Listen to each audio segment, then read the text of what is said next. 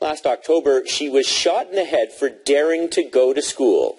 Today, Malala Yousafzai delivered her response, not to the Taliban who wanted her dead, but to the rest of the world. Her impassioned challenge, lay down the weapons and arm girls with pens and the ability to use them. The CBC's Aaron Saltzman has the details. Happy 16th birthday, Malala.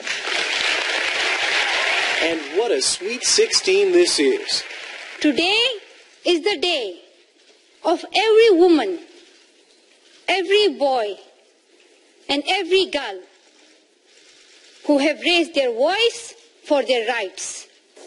As an 11-year-old, the Taliban bombed schools and shot teachers where she lived in northern Pakistan. Malala defiantly fought for her right to an education. I want to get my education and I want to become become a doctor. And became a target.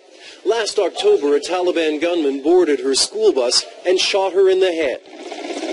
Airlifted to hospital in England, the world watched and held its breath as she somehow survived and slowly fought her way back to health. Now it's time to speak up. Today at the UN, wearing a shawl once worn by slain Pakistani Prime Minister Benazir Bhutto, she spoke in front of family and 500 young followers from around the world. One child one teacher, one book, and one pen can change the world. Education is the only solution. This her first public appearance since the shooting, and still just as defiant. They thought that the bullet would silence us,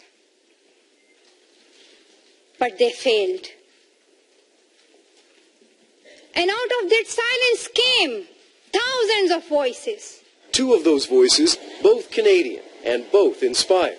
Malala said today that pens and paper and books are far better weapons and far more powerful than guns. And I think that is a powerful message. I can go back into Canada and maybe make programs or do workshops in my school and in my community to raise awareness about girls' education around the world.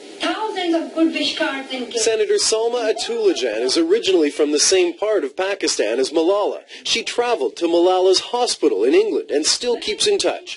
From her, a note of caution. I would like her to regain some of her childhood too. My biggest fear for her is that are we putting too much pressure on this young girl? And yet, you get the sense she can handle it. No one can stop us. Aaron Saltzman, CBC News, Toronto. Malala's inspiring speech coincided with a new report on global education. It points out just how vulnerable school-aged children remain. Around the world, nearly 60 million children are out of school, half of them in conflict zones.